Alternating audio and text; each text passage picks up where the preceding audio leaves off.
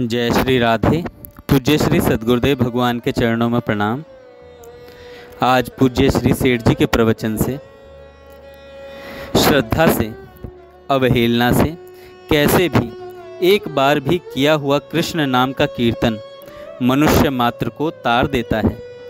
एक प्रश्न है साधक का कि वर्षों से चेष्टा में लगा हूँ, बहुत से साधु महात्माओं के दर्शन किए, तीर्थों में घूमा मंत्रों के अनुष्ठान किए, नाना प्रकार की साधनाएँ की, पर मेरा दुष्ट मन किसी प्रकार भी वश में नहीं होता।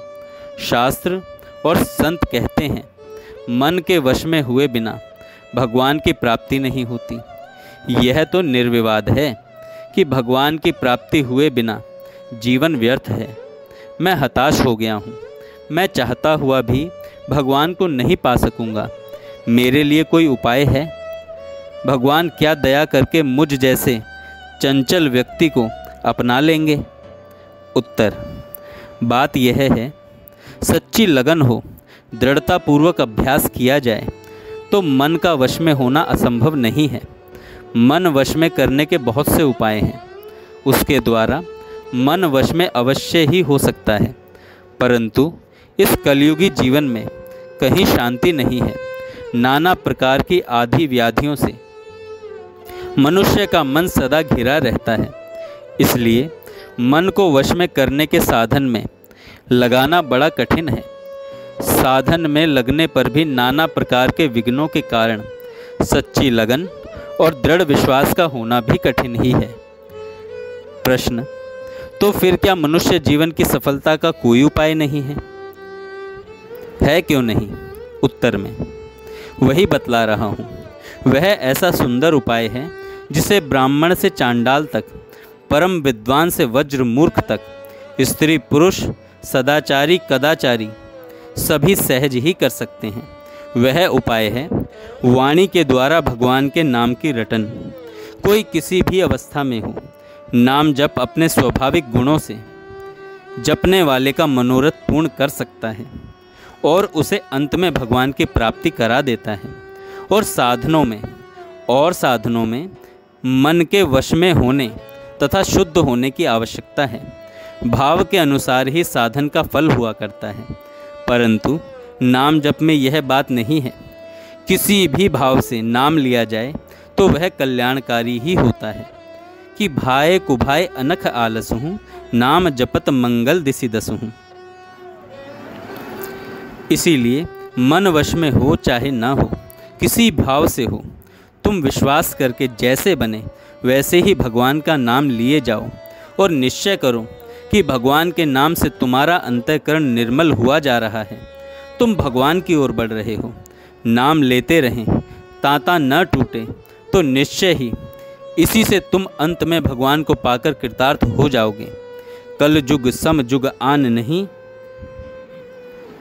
जो नर कर विश्वास, गाय राम गुण गण विमल भव तर बिन ही प्रयास। यदि मनुष्य विश्वास करे तो कलयुग के समान दूसरा युग नहीं है। इस युग में श्री राम जी के निर्मल गुण समूहों को गा गाकर मनुष्य बिना ही परिश्रम, संसार रूपी समुद्र से तर जाता है। हरिर नाम हरिर नाम हरिर नाम एव केवलम, कलौ नास्तेव नास्तेव नास्तेव गतिरन्य था अर्थात, कलयुग में केवल हरि का नाम ही सार है। मैं प्रतिज्ञा करके कहता हूँ, कलयुग में हरि नाम को छोड़कर दूसरी गति नहीं है नहीं है नहीं है। श्री प्रेमलता जी के वचनामृत में नाम महिमा की बहुत ही महत्वपूर्ण दिव्य वाणी है। कुटिल कर्म की रेख भी नाम जप से मिट जाती है। भगवान स्वयं नाम जापक की रक्षा में रहते हैं। इसलिए भगवान का नाम जितना जपा जाए, अधिक से अधिक निरंतर लेते रहना चाहिए। प्रेमलता जी कहती हैं, नाम रटन कहूँ कौन प्रयासा? केवल जीव हिलाना है। लाभ अमित अति अकथ अनुपम। गावत वेद पुराना है। नहीं को धर्म कर्म साधन सिद्धि। ते ही सम ज्ञान न ध्याना है। प्रेम लता ते धन्य नाम जिन। सब विधि सर्वस माना है। राम रूप धनु बाण धारी कर, रक्षा में नित रहते हैं। शिव त्रिशूल धरी ब्रह्म दंड कर, विष्णु चक्र नित लहते हैं। नारायण धरी गदा कौमुदी, जापक के रिपु दहते हैं। प्रेम लता हनुमान मनोरथ पूर्व जो कुछ चहते हैं। श्री सिय राम नाम की महिमा, बहुविधि पढ़ते सुनते हो। रटते काहे न खूब निरंतर, बातें क्यों कर गढ़ते हो? हटते हो क्यों भजन पंथ में? आगे क्यों नहीं बढ़ते हो? प्रेम लता सिय राम भजन पथ, धाए न काहे चढ़ते हो?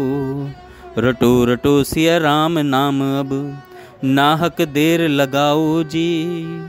लोक लाज कुल की मर्यादा, नाता नेह बहाओ जी।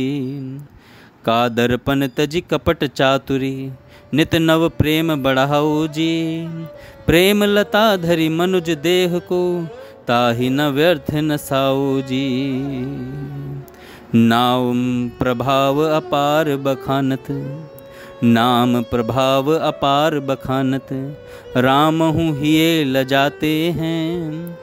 पतित हूँ पतित हूँ पावन होत रटत जही, बिनु श्रम पर पद पाते हैं। यवन गयो प्रभु धाम नाम जपी ब्याद हूँ ब्रह्म कहाते हैं। प्रेम लताते धन्य लोक में, जे सिय राम सुगाते हैं। जितना रटी हो नाम अंत में, उतनो ही सुख पाओगे। जो न मानी हो सीख मोह बस तो पीछे पछताओगे। रटे बिना सिय राम नाम को, रटे बिना सिय राम नाम को, दर दर धक्का खाओगे। प्रेम लता सिय राम भजन बिन, यमपुर बांधे जाओगे। यमपुर बांधे जाओगे। जय श्री राधे। जय श्री राधे।